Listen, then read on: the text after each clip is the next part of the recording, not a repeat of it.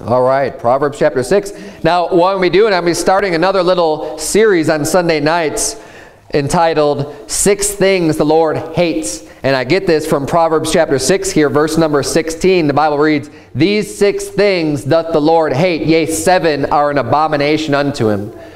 And the reason why I'm calling it six things the Lord hates is because one of the, the seven things is mentioned twice, so it's really six unique things. Lies, lying, it says a, a, proud look, a lying tongue, and then verse 19 says a false witness that speaketh lies. So lying is actually mentioned twice, but we'll go into that more next week. This week we're going to be dealing with what it says in verse 7 there, a, 17, excuse me, a proud look. So as we get into this series, you know, these are things that God hates we ought to, to pay attention to this. If this is something that the Bible is, is spelling out for us, God hates these things. Let's make sure that we don't do these things. Pay attention. When God says he hates something, pay attention. We're going to devote the entire sermon on the very first thing he mentions here, a proud look. So this is it, not even just having pride, which is bad enough. We're going to go into the sin of being proud and being prideful. But I like it says here, a proud look. Now, what is a proud look? How does someone look when they're proud? Turn, if you would, to Isaiah chapter 3. We'll get a good example here. But I, when I think of a proud look, I think of someone with their head held high, right? Their nose kind of tipped up in the air they're real proud. They think they're so good. They're so lofty. And they walk around like they are so special and better than everybody else. That's what it means to have pride, right? Look at Isaiah chapter 3, verse number 16. Isaiah 3:16 Moreover the Lord saith because the daughters of Zion are haughty haughty is another word a synonym for being proud they're haughty, they're lifted up, and walk with stretched forth necks and wanton eyes. So their, their, their heads lifted up. They're lifting their head up higher, you know, and their nose is held up high in the air. Walking and mincing as they go and making a tinkling with their feet. Right? It's, it, they're just, it, you know, I look at this and I could put it in, in today's vernacular, today's the way that people would walk that are proud, they're kind of strutting, right? They're walking and they've, they've got a certain saunter and they're, you know, they're real cool. Right, that's a proud look. Someone they've got their head kind of lifted up and they're just walking like they're all that. And you know what I'm talking about. You see people doing it all the time. And it's people that are proud. It's people that care about what they're wearing having designer clothing and their shoes from their from their head to their toe, right? Everything's designer, everything is, you know, they're in with the latest fashion and if it's their pants sagging down looking like a fag, then that's what they're doing, but they're doing it and they're walking and they're making sure they look real cool, their hats tilted a little bit to the side, whatever it may be. It's pride. They're walking proud. They're walking like either, you know, I'm tough or I'm better than you or whatever the case may be. I have all this money and they want to show it off. It's pride and it's wicked as hell and God hates it. Let's keep reading here though. It says, these, these daughters of Zion that are being rebuked here for being haughty and how they walk with their stretched forth necks and wanton eyes. Verse 17 says, Therefore the Lord will smite with a scab the crown of the head of the daughters of Zion, and the Lord will discover their secret parts. He's going to bring them down. He's going to make them ashamed. Verse 18, In that day the Lord will take away the bravery of their tinkling ornaments about their feet and their cauls and their round tires like the moon. I have no idea what the round tires are. It's some sort of article that they were wearing that was part of their proud look. Verse 19, the chains and the bracelets and the mufflers, the bonnets and the ornaments of the legs and the headbands and the tablets and the earrings, the rings and nose jewels, the changeable suits of apparel and the mantles and the wimples and the crisping pins, the glasses and the fine linen and the hoods and the veils. All of these various accessories that people are wearing to just make it about them, to lift themselves up. And again, we may not wear mufflers these days, whatever that is. You know, you may not have a round tire like the moon.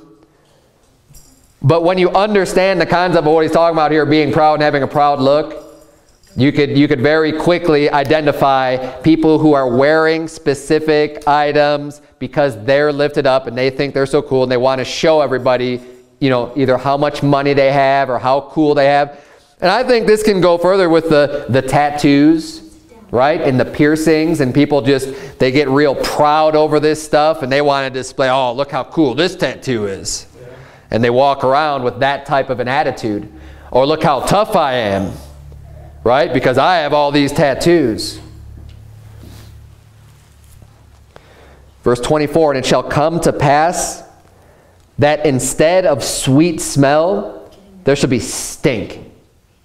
And instead of a girdle, a rent. And instead of well-set hair, baldness. And instead of a stomacher, a girding of sackcloth. And in burning instead of beauty. See, the proud people, they're putting all this stuff on and all this adorning to make themselves look so good. And they're so caught up in their own appearance and how other people look at them and, th and they have their proud attitude. And God says, I'm going to bring you low. You know, you put on all of your perfume and cologne while you're dressed in your proud look. He says, I'm going to make you stink. You have a girdle, I'm going to make a rent. I'm going to rip your clothing. I'm, I'm, going to make turn everything that you're using to try to prop yourself up, and I'm going to bring you down. This is the way that God views it. And this is the way that we ought to view pride in ourselves also, that we don't go out trying to get the most flashy items and the most expensive things and putting these on to, to, to lift ourselves up. When I think of a proud look, the first thing that comes to mind is the celebrities right? All the famous, you know, the movie stars and actors and actresses and stuff, and they're always going to these events, you know, the red carpet events and everything, and what's the big talk? Well, what are they wearing? What, you know, and that's all this huge focus, and it, again, maybe it's just part of being a guy, but it's mind-boggling. I think the ladies get more into this than the guys do, but just how much time and energy is spent focusing on what these stupid people, what these wicked people are wearing. And they walk in and they're all proud and they're all cool and they're all special VIP, you know, people that, that they can't talk to a regular person, right? Because they're special. they're, you know, and, that, and that's pride. But that's how they are. And it's, and it's wickedness and God hates it. Now, who knows what the day may bring. I mean, I, I, it's very unlikely that anybody in this room is going to get to some type of celebrity status, right? But in case you ever do, if you ever get popular for some reason, I mean, you're probably doing the wrong thing if you're getting popular with the world because you're going to be hated by the world if you're living, if you're living godly and Christ-like. But let's say maybe you become very popular within Christian circles right? And obviously it's not to the level of the world and nor will it, will it ever be in our lifetime for sure. But um, let's say maybe you, you know, people are lifting you up as, as a really good Christian example. Church grows and you are someone who's just standing out. Don't let that get to your head. You need to keep yourself humble. Just like Jesus Christ did. I mean, the, the, the man who's deserving of, of all of the glory and honor made himself a servant, and did not lift himself up, although he very easily could have for, for all good reasons, because he's perfect. But don't let yourself ever get caught up into this proud look and this proud attitude and walking in like, um, you know, people owe you something or, or they need to look up to you and they'll be lucky if they get a chance to talk to you. Besides the celebrities, I find this also, I mean, it's still part of celebrity, but the hip-hop culture specifically in music, it's, it's all about pride, right? What are they doing? It's all about their, their looks and their clothing and the money, right? They want to flaunt all the money. You watch, I don't know if they still have MTV anymore. I don't think they play videos anymore, but like, I know when I was watching MTV, when they actually had videos, you'd see all the hip-hop videos and all just flashing all their money and uh, you know rolling up in their Mercedes Benz or in their limousines and you know and just all this yeah all the all the chains exactly that chains was mentioned here in Isaiah chapter 3 also all of that stuff the rings the chains the jewelry just, just the fancy look. It's pride. It's all about pride, and that is wicked as hell. The Bible says in Psalm 101, turn if you would to Proverbs 16. Proverbs 16. I should have just had you stay in Proverbs. But in Psalm 101, verse 5, the Bible reads, Whoso privily slandereth his neighbor, him will I cut off. Him that hath an high look, excuse me, and a proud heart, will not I suffer. So one of the things that the Lord hates, we saw in Proverbs 6, was a, a proud look. Here it's saying in Psalm 101, someone who has a high look, right? It's lifted up. That's what pride is. You're lifted up. Someone has a high lid, a high look, and a proud heart. God doesn't suffer that. God doesn't allow for that. He looks at us, he says, oh, you think you're something really special? He'll bring you down. God will always abase, which means to bring low people who think that they're so special and they're so lifted up and they're, and they're so wonderful. Proverbs 16, look at verse number 5. The Bible reads, Everyone that is proud in heart is an abomination to the Lord. Though hand join in hand, he shall not be unpunished. Now, that word abomination is a very strong word of hatred. That God hates that. It is not used flippantly in the Bible. The word abomination is used to describe sodomites, homosexuals. It's an abomination. It's abominable. It's also used right here if you have a proud heart. If you are lifted up in yourself, God says, that is an abomination to me. God hates that. And that's, you know, Proverbs 6. is it's something, one of the things that he hates. Look, jump down to verse number 18. Very important verse to remember here. Pride goeth before destruction, and an haughty spirit before a fall. Better it is to be of an humble spirit with the lowly than to divide the spoil with the proud. Pride goeth before destruction. If you want to be destroyed, if you want God to just bring you down, start getting proud. Start getting a prideful attitude. Start having an attitude where you just think that, that you're the best, you're right all the time, and just, just you, you, you, you, you above everybody else. God will make sure that he brings you low. If you want to guarantee some destruction in your life, get proud.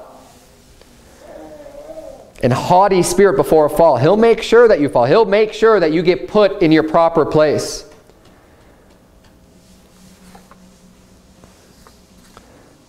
There's so many people these days that are so proud and arrogant, especially the you know, people who are atheists or whatever, these people that, that don't believe in God and they mock Christianity. Well, the Bible says that one day every knee shall bow and every tongue shall confess that Jesus Christ is Lord to the glory of God the Father.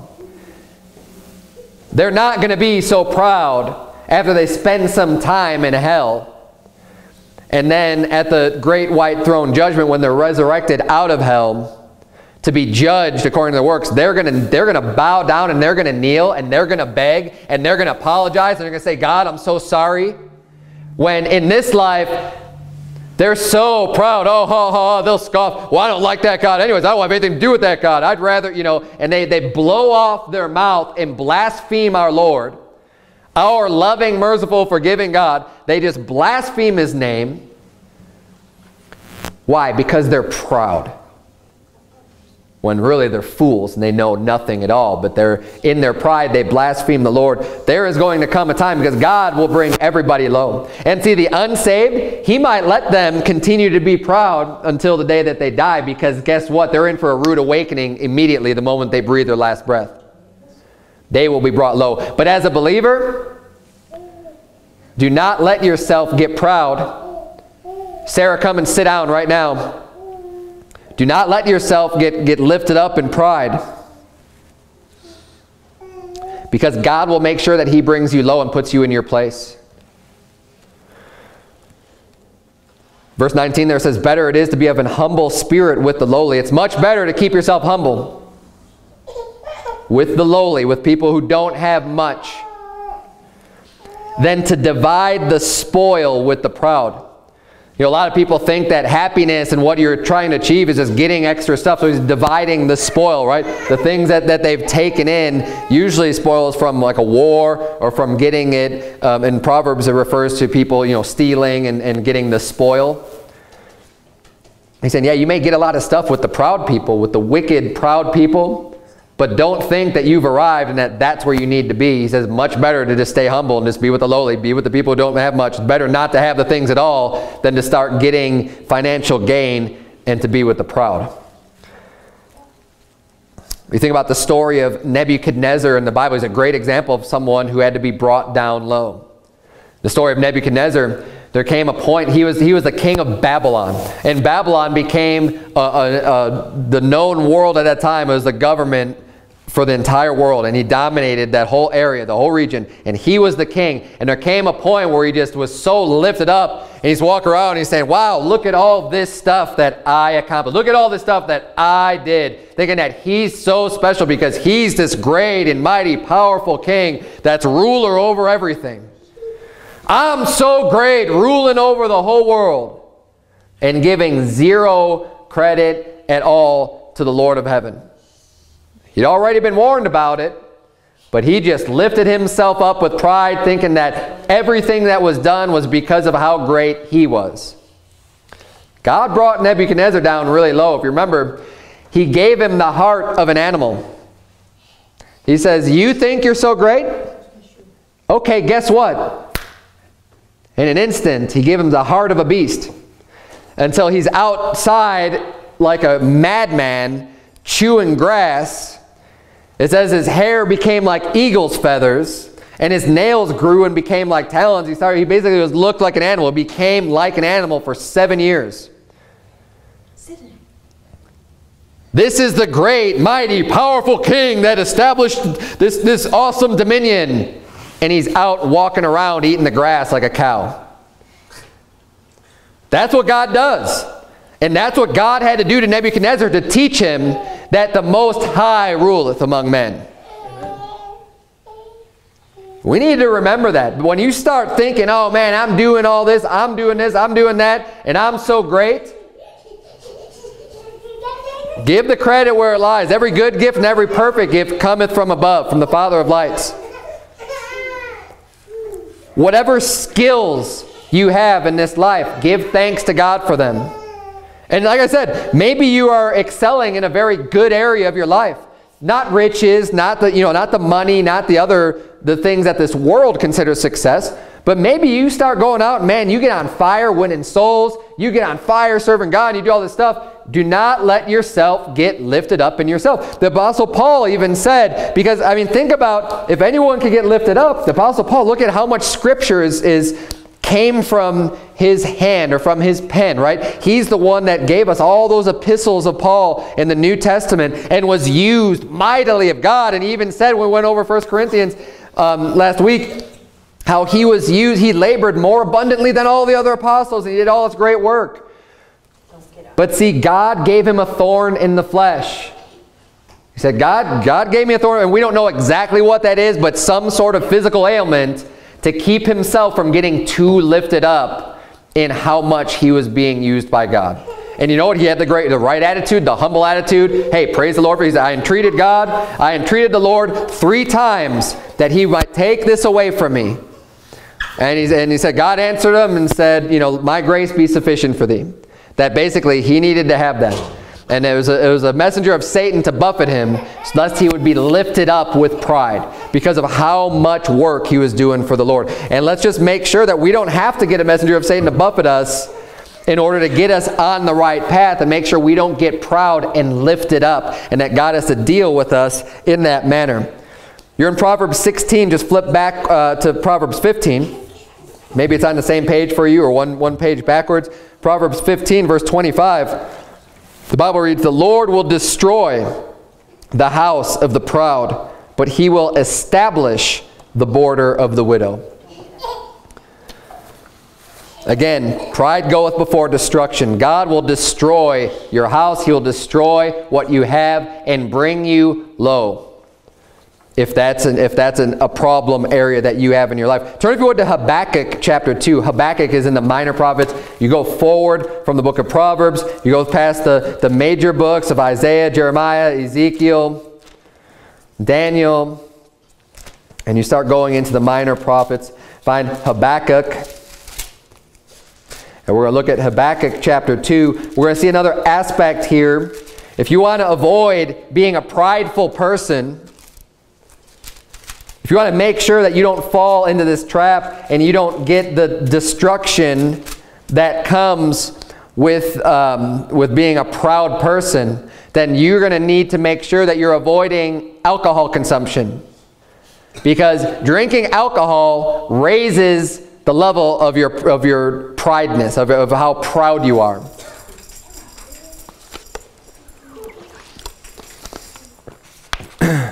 We're going to start reading in verse number 4, Habakkuk chapter number 2.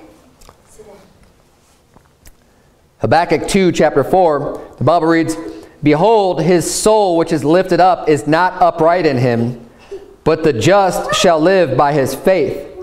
Yea, also, because he transgresseth by wine, he is a proud man, neither keepeth at home, who enlargeth his desire as hell, and is as death and cannot be satisfied, but gathereth unto him all nations and heapeth unto him all people. So we see there in verse number 5 it says that, or in verse number 4, Behold, his soul which is lifted up is not upright. So the person who's proud, they're not walking uprightly. They're not walking the way they should be. It says, but the just, those that do, are upright, it says they'll live by faith. And verse number 5 says, Yea, also, in addition to this, because he transgresseth by wine, because he's a drunkard, because he's drinking wine and getting drunk, he is a proud man.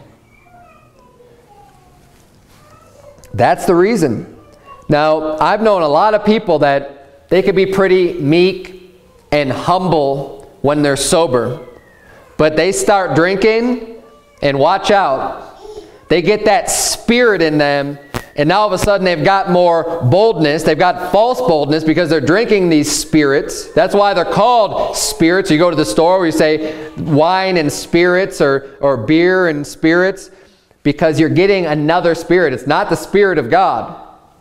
It's a spirit from Satan when you drink wine, when you drink that alcohol. But when these people will drink, all of a sudden they'll start to become more bold and they'll get more proud. Right? A lot of people will, it'll cause them to get into fights and to do things that they wouldn't normally do. But when they transgress by wine, they're a proud man.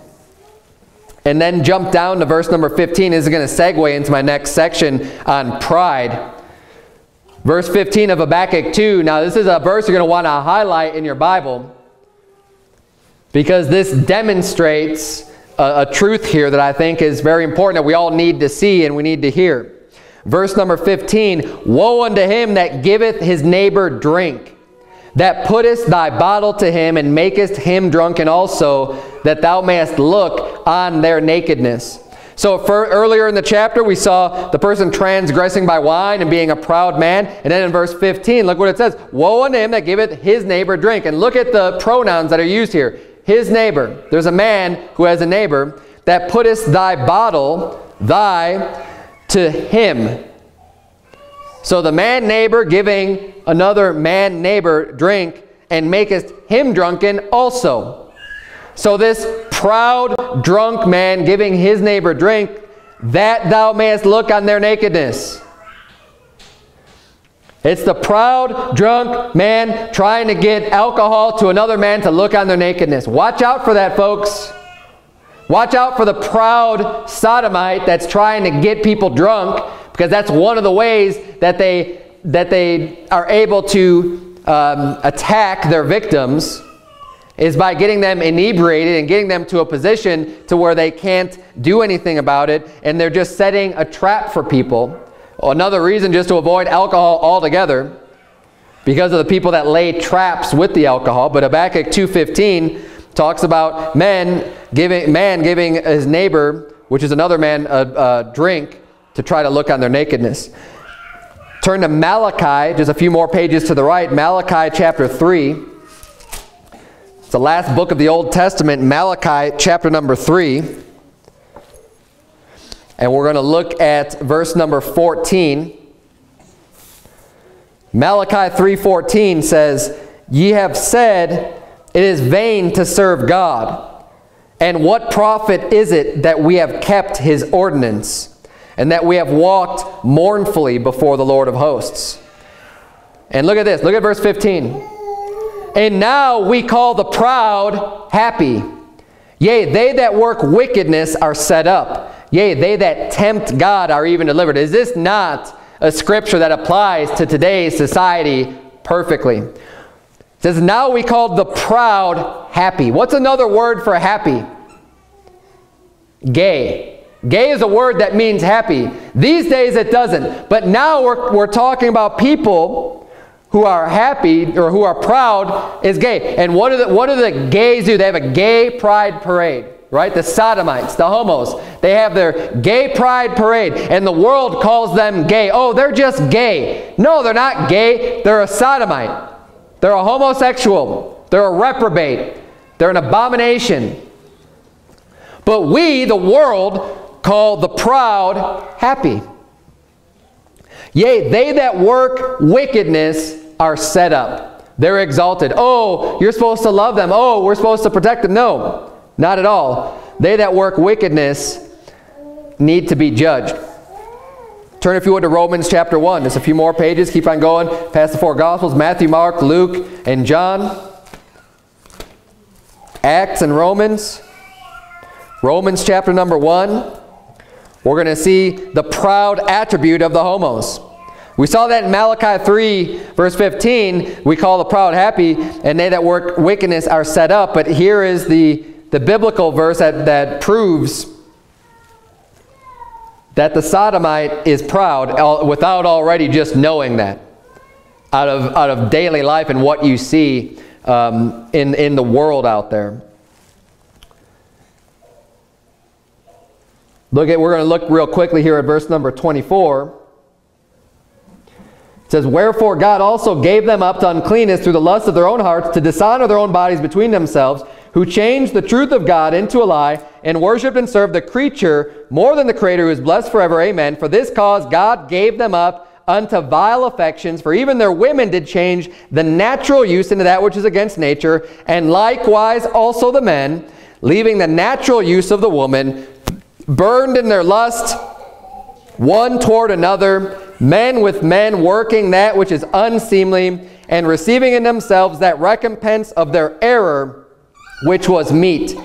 So this is talking about God giving up on the men and women to dishonor their bodies between themselves and to do those things which are not convenient, to, to defile their bodies, to commit these acts of homosexuality between themselves because God has given them up and he's given them over to a reprobate mind, which we see here in verse 28. And even as they did not like to retain God in their knowledge, God gave them over to a reprobate mind to do those things which are not convenient. God gave them over to that reprobate mind, that rejected mind, to do those things which are not convenient. He's given up on them. And then it continues here in verse 29, giving the attributes, the further attributes of the reprobate, of the sodomite. It's a continuation. that The sentence didn't even end from verse 28.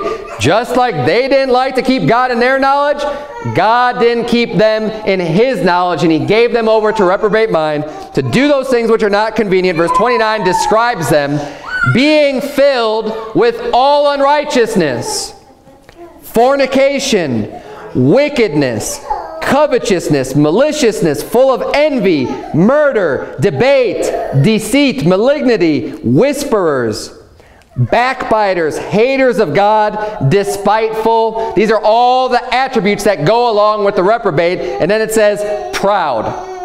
Boasters, right? You're boasting because you're proud. You're bragging. They're proud. Inventors of evil things, disobedient to parents, and on and on. We see there the proud attribute of the reprobate.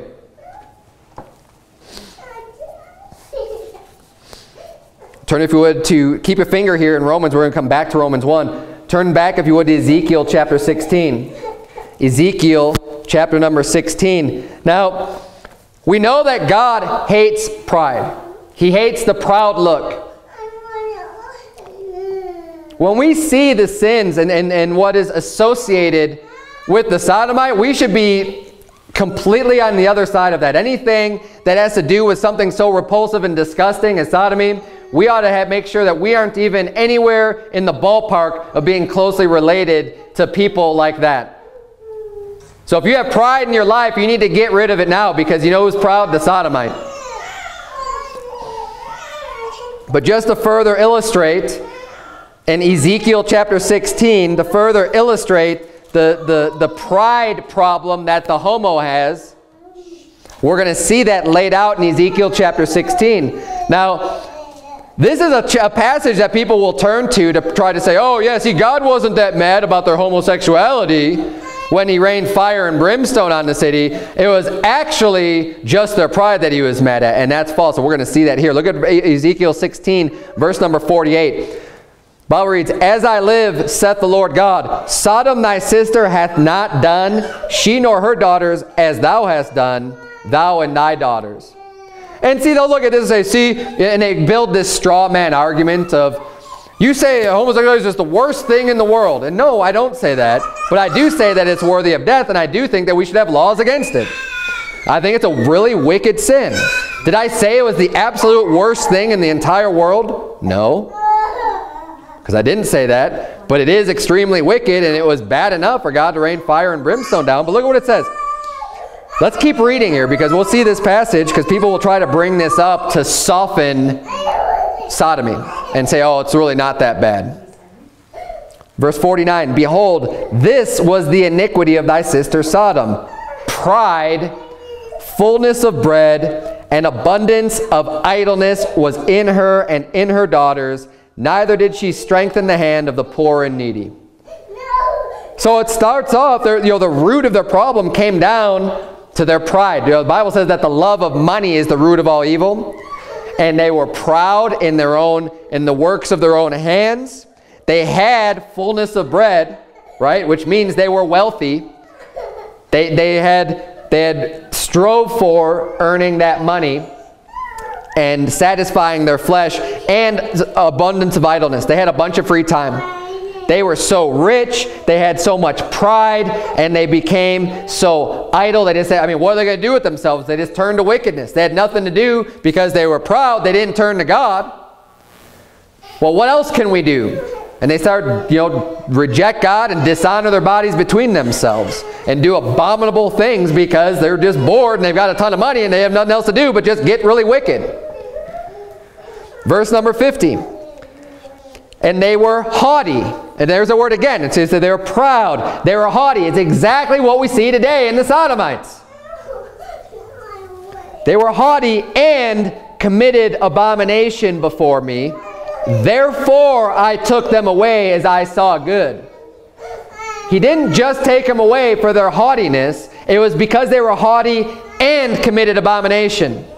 Their pride mixed with their abominable acts, which was their sodomy, which was their homosexuality, God took them away as he saw fit. And the way that he saw fit was raining fire and brimstone, a horrible way to die, being burned up and then them being going straight to hell and continuing their burning forever. God saw that fit. That's the right thing to be done there. They were lifted up with pride and committed abominable acts, so he rained fire and brimstone upon them.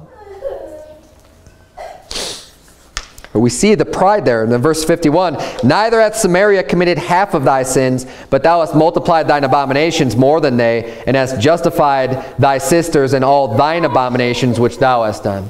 So he's rebuking Israel. He's rebuking them and saying, look, Sodom and, and Samaria, look, they haven't done what you have done. They haven't done anything, you know, like, like he's just trying to say, look how wicked they are. And they did all this wickedness, and I saw fit to, to rain fire and brimstone on them. He said, like, and you're even worse. That's pretty bad when you're being compared to Sodom and being told that you're worse. Because this, that is a pretty bad example. The only remedy for that was to destroy him. But what were they? They were proud. They were haughty. They were lifted up. This should show you how God feels about pride, more than just reading God hates pride. Let that settle into your heart and hopefully help you from becoming even remotely close to, to having a really proud attitude.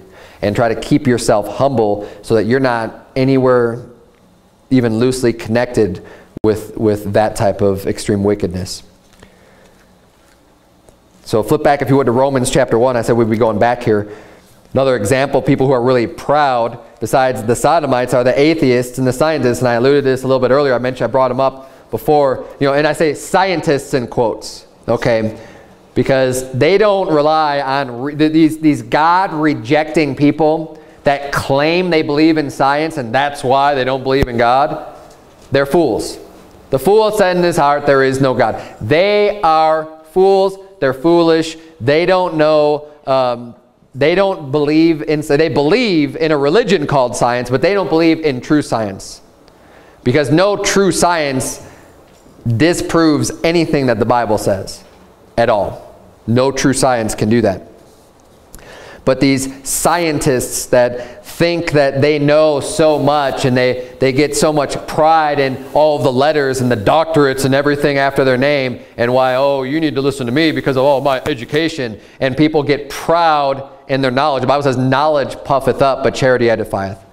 People get very proud in what they think that they know. Romans chapter 1. I believe this is also referring to many of these so-called scientists like the Bill Nye, the science guy, and all these other um, just science fiction believers. Verse 21 of Romans 1 says, Because that when they knew God, they glorified him not as God, neither were thankful, but became vain in their imaginations, and their foolish heart was darkened. Professing themselves to be wise, they became fools. See, there's a lot of people out there that profess themselves to be wise, and they're real proud. They think they know it all. They're saying, I'm so smart and they know nothing at all. Because if you don't believe in God, if you start worshiping and serving the creature more than the creator, whether that be an animal or whether it be man, because a lot of these people just basically worship man. They think that, that man is the ultimate thing and that you essentially are your own God and that, that our minds and our evolution and, you know, makes us the best and, and that man is what they worship. And they are fools. Their foolish heart is darkened because they reject God and they think that they profess themselves. They want you to think that they're wise, but they're really just fools.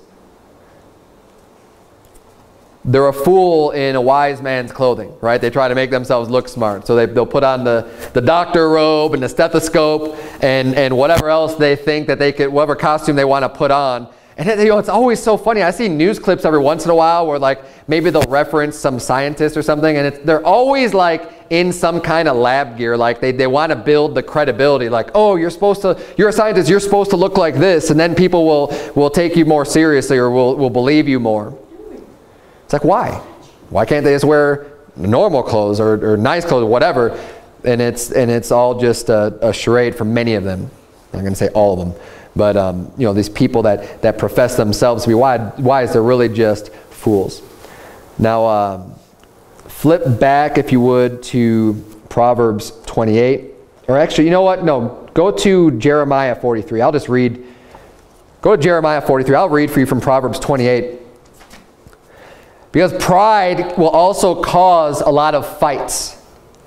It'll cause people to, you know, people who just think that they're right and they're so lifted up in themselves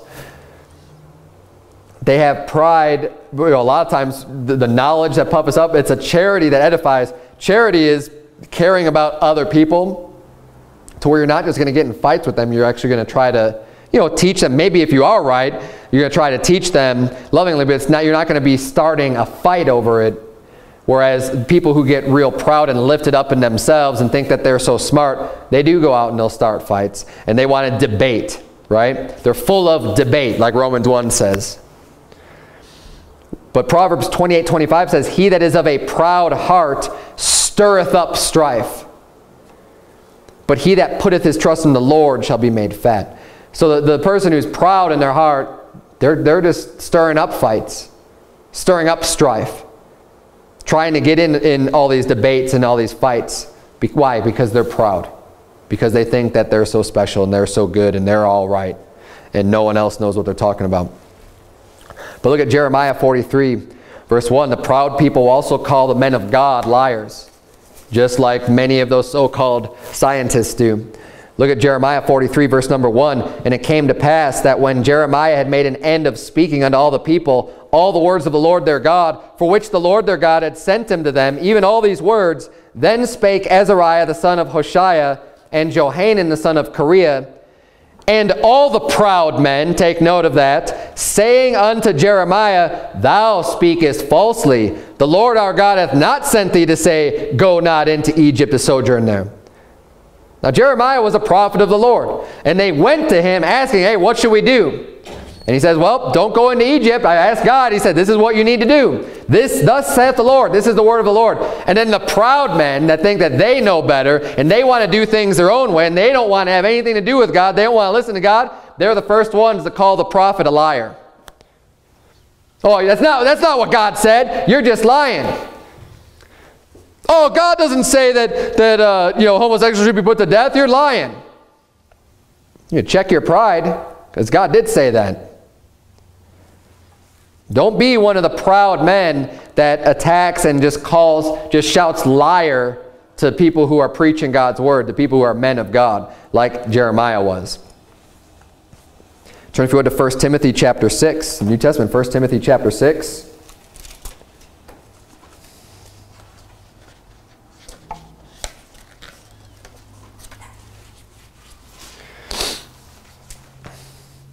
We see some examples of pr proud people. We see that alcohol brings pride out in people. We saw that the sodomites are full of pride. We see that you know, people who profess themselves to be wise are very proud, these, these so-called scientists and atheists.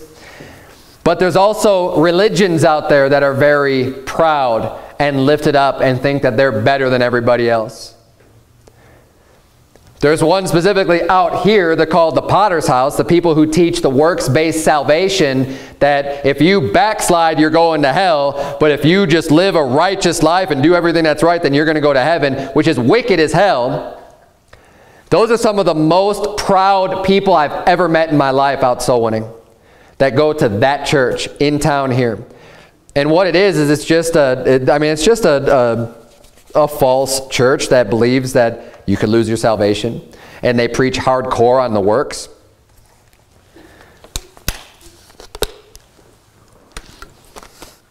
When you go out trying to soul win with them, it's always a fight. It's always a strife. They're always trying to stir up strife because they're proud. You know, we bring the gospel humbly to them, trying to show them what the Bible says, and they're always just looking to start a fight. At least the ones that are, that are really plugged in. You know, sometimes you run into people who aren't really that that into the church. But the ones that are really plugged into it, it's always a fight. 1 Timothy chapter 6, look at verse number 3. Paul reads, If any man teach otherwise and consent not to wholesome words, even the words of our Lord Jesus Christ, and to the doctrine which is according to godliness. And these are men that do just that. They teach otherwise. We go to them bringing the wholesome words, the words of our Lord Jesus Christ, like, for God so loved the world that he gave his only begotten Son, that whosoever believeth in him should not perish but have everlasting life. The doctrine which is according to godliness, they teach otherwise. Because they say, no, you got to work. Verse 4, he is proud. People who teach otherwise, they're proud. Knowing nothing, but doting about questions and strifes of words, whereof cometh envy, strife, railings, evil surmisings, perverse disputings of men of corrupt minds. It's all, all these words are just talking about these fights that they have and these questions and, and striving with people. Railings, getting railing accusations against you.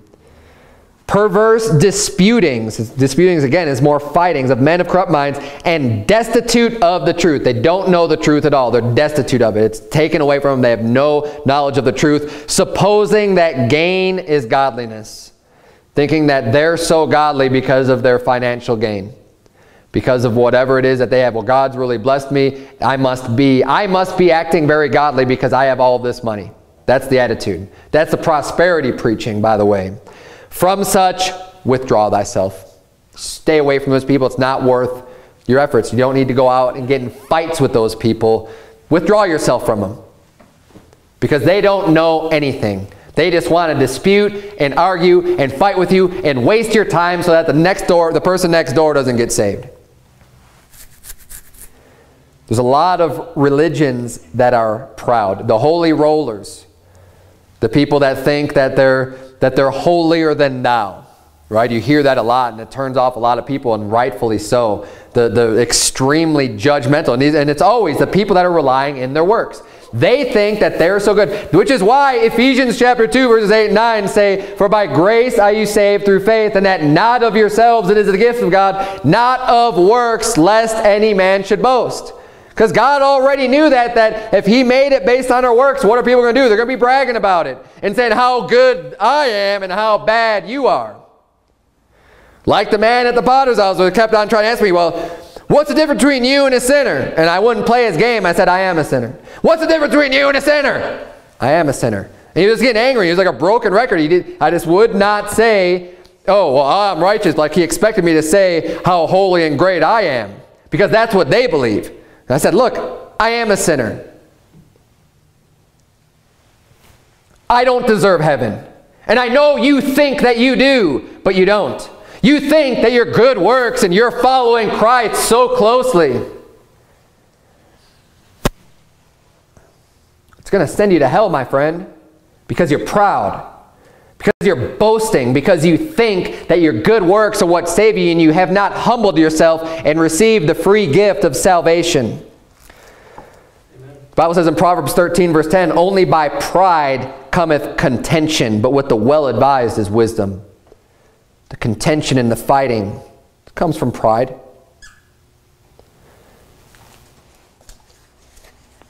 You have a lot of fighting and problems in your marriage and just, just constant fighting.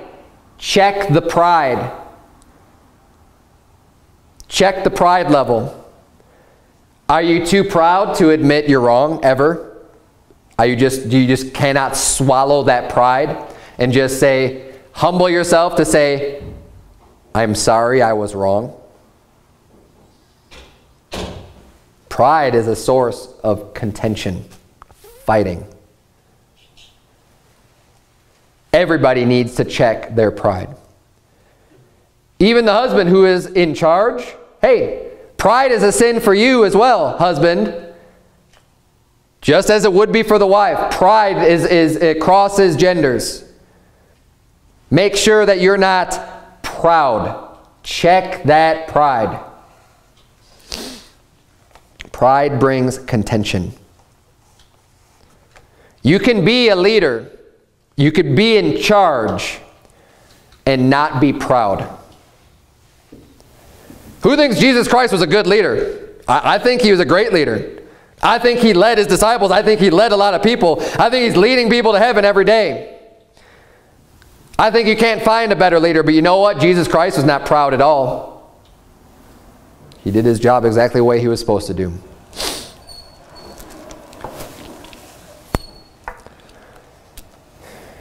Turn would to Second Chronicles chapter number 32. We're going to look at a story with Hezekiah, but before we get there, I'm going to read a few uh, passages for you. James 4 verse 6 reads, But he giveth more grace. Wherefore he saith, God resisteth the proud, but giveth grace unto the humble. Submit yourselves therefore to God. Resist the devil and he will flee from you. Again, we see, if you want God fighting against you, Get proud. If you want destruction, get proud. Just have pride. But if you can submit yourselves to God, submitting yourself means you're humbling yourself. It means you're swallowing pride, whatever it is that you think that, that I'm not going to sink to that level or whatever because I'm better than that. Hey, submit yourself. Submit yourself to God and His authority so that God isn't just resisting you. It's easy to see through the eyes of a parent. We need to remember that analogy that we're, we're, children of God. God will resist you when you're proud and you don't want to listen to them and you think you're better or whatever. I, th this truth is apparent to me all the time with children. When I could see their pride, when I'm telling them to do something and they don't want to do it and, and they think that, that there's, you know, I shouldn't do that because I'm old enough now to not have to do those things or what, whatever the case may be, whatever, wherever the source of their pride is. And I'll tell you what, I resist that. I'll resist that to the day I die. And I think that, that we see here that God has that same attribute of resisting that pride in his children. Psalm 138 verse 6 reads, Though the Lord be high, yet hath he respect unto the lowly, but the proud he knoweth afar off. See, pride is when you're lifting yourself up. And what this is saying is that God is lifted up. He is high. He is exalted more than anything or anyone. God is at the peak. He's at the height.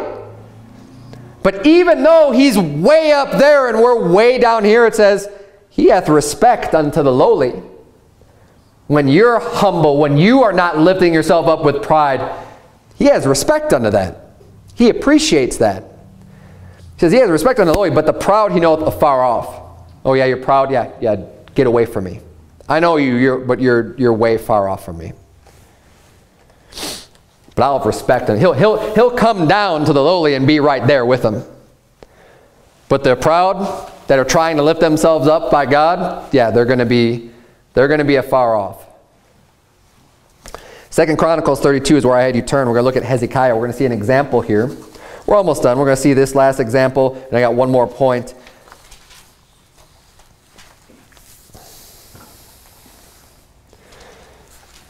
Hezekiah was one of the kings of Judah. He was a righteous king. He was a godly man. He was a saved man. But he had a problem with, with pride, and, and he, he suffered a consequence for it. Again, pride isn't just about the unbelievers or the, you know, the wicked unbelievers that are going to hell. It's for the Christian too. We need to make sure that this is not a part of our life. Second Chronicles 32 verse 24 reads, In those days Hezekiah was sick to the death and prayed unto the Lord, and he spake unto him, and he gave him a sign. But Hezekiah rendered not again according to the benefit done unto him, for his heart was lifted up. Therefore there was wrath upon him and upon Judah and Jerusalem. So basically what happened was is that Hezekiah was told he was going to die. And he, and he humbled himself and he prayed to God and he begged God, God, you know, basically Look at all the good I've done with my life. God, please give me more time. Please add unto my years. And God said, okay. He listened to, to Hezekiah. He gave him a sign and said, I'm going to add 15 more years to your life because you asked for it. And he did that. But after that, his heart was lifted up, and that brought wrath on him from God and, and upon Judah and Jerusalem. So not just him, there's a whole bunch of other people suffered as a result of Hezekiah's pride.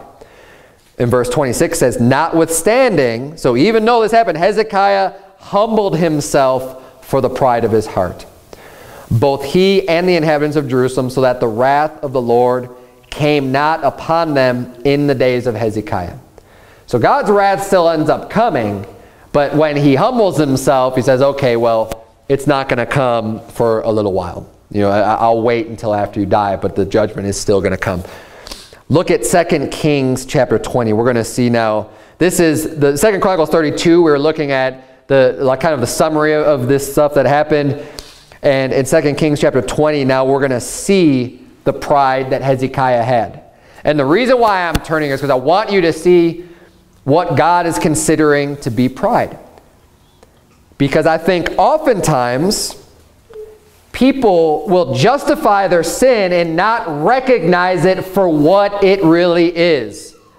Oh, I'm not pride. I'm just doing this. It's always, I'm, oh, I'm not doing, I don't have idols. I'm just looking at the, you know, whatever, whatever it is. It's always the, oh, I'm just doing this and excusing it somehow and calling a sin just by a different name, which isn't a sin. You say, oh, yeah, that's, that's not a sin. I'm, I'm, I'm only doing whatever.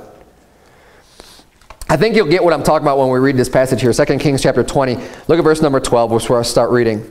At that time, Berodach Baladan, the son of Baladan, king of Babylon, sent letters and a present unto Hezekiah, for he had heard that Hezekiah had been sick. So basically the story I already said, Hezekiah was sick, he was sick unto death, prayed unto God, God healed him, gave him this great sign, and this king of Babylon then sent unto Hezekiah, because, yeah, I heard you were sick.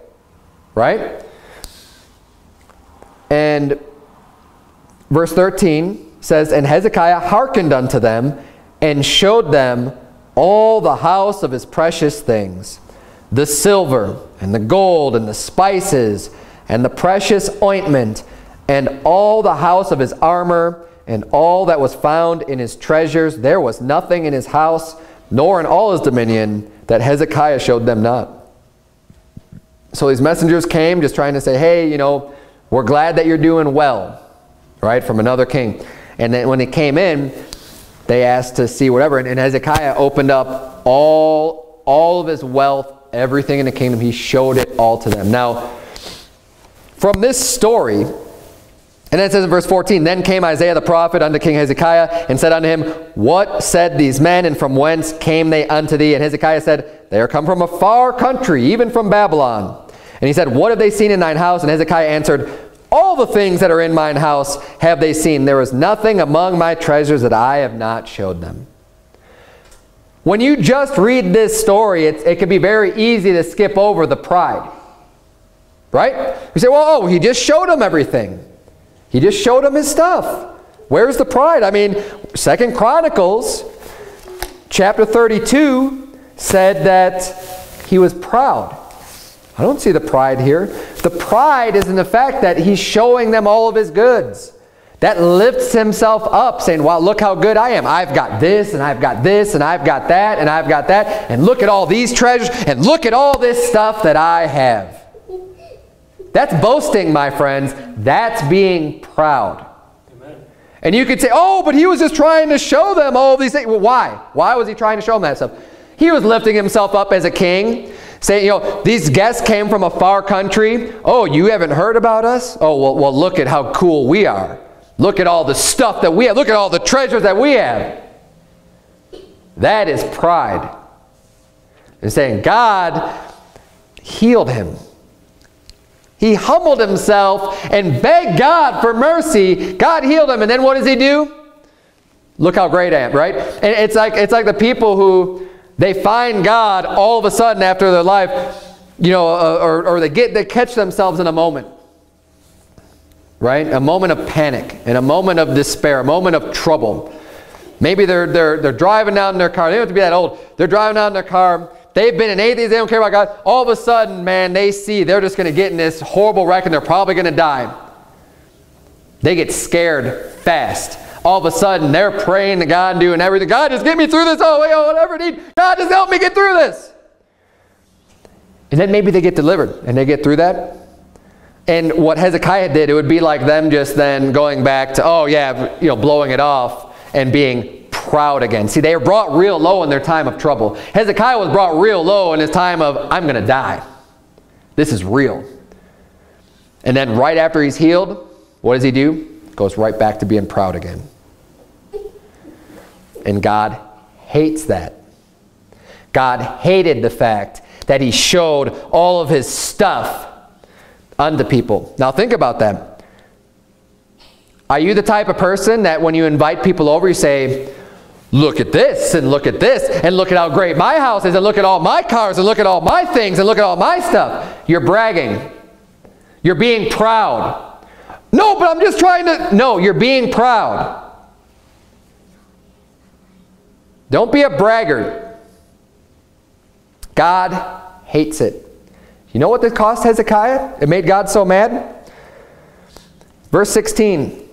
And Isaiah said unto Hezekiah, Hear the word of the Lord. Behold, the days come that all that is in thine house and that which thy fathers have laid up in store unto this day shall be carried into Babylon. Nothing shall be left, saith the Lord.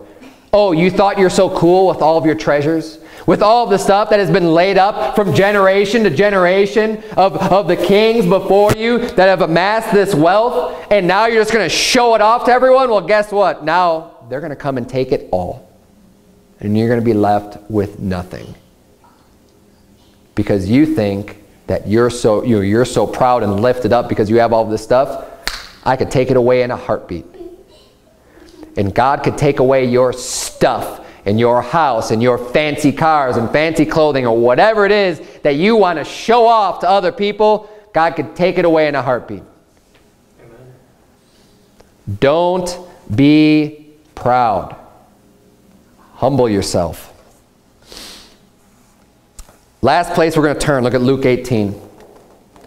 Luke 18. Last section, last point. Pride is a wicked, wicked sin. God hates it. And pride will actually prevent people from getting saved. Pride is one of the things that, that will be a stumbling block unto people to believing on the Lord Jesus Christ. Look at Pro, or Luke 18. I was just speaking this morning to a man that was, was talking about his father and, and all the things that he was saying, I was just like, he's, a, he's proud, isn't he? He's got pride. I mean, it just, it's all the attributes of, a, of someone who's prideful. And he brought up the contentions, the fighting. He said he's not happy. Yeah, you're not going to have peace when you're always fighting with people. You're not going to have the joy when you don't have the peace because you're always fighting with people. He thinks he's right. No one could ever knock him off his pedal. Yeah, he's proud. He's proud and he knows nothing. And unfortunately, hopefully not, but unfortunately in that case, he, it'll probably send him to hell. Look at Luke 18, verse number 9. And he spake this parable unto certain which trusted in themselves that they were righteous and despised others. So Jesus is going to give him a lesson here. Because most people think that they're going to heaven because they're so good and they're so righteous and they're trusting in themselves. When you're trusting in a works-based salvation, I don't care if you want to add Christ or leave Christ out of it, you're a proud person and you're trusting in yourselves. And this is a parable for you, what Jesus, what Jesus taught here. Verse 10, two men went up into the temple to pray, the one a Pharisee and the other a publican. Pharisee, right? The priest. This guy, he's all lifted up. And, and he's the spiritual one. He's the one that people look to. Oh, wow, what a man of God. Right? Because he's doing it for show. The Pharisee and then just some publican. They both go into the temple to pray. Verse 11, the Pharisee stood and prayed thus with himself. Right? Praying with myself. He's making sure that, that he's saying all these words for himself, with himself. God, I thank thee that I am not as other men are, extortioners, unjust, adulterers, or even as this publican. Right? I mean, there's a guy that just came in to pray. He's saying, God, thank you. Thank you that I'm not just, you didn't make me one of these wicked people, that I'm so great, that I do all these great things for you, that I'm not even like this guy over here, lifting himself up above everybody else. I fast twice in the week. Most people never fast. I fast twice a week. I give tithes of all that I possess. That's the Pharisee speaking. Verse 13, and the publican standing afar off. Didn't even, the, didn't even want to come all the way up to the altar or whatever. Would not lift up so much as his eyes unto heaven but smote upon his breast, saying, God, be merciful to me, a sinner. He recognizes his sin. He recognizes his wickedness. He can't even lift up his eyes to heaven. He said, I'm just going to keep my head down because I'm lowly, because I'm a sinner, and I need mercy. That is not the attitude that the Pharisee had. He wasn't looking for mercy from God. He's just going, hey, God, thanks. I'm not a sinner. I'm not wicked. And he was a sinner proud, and he knows nothing.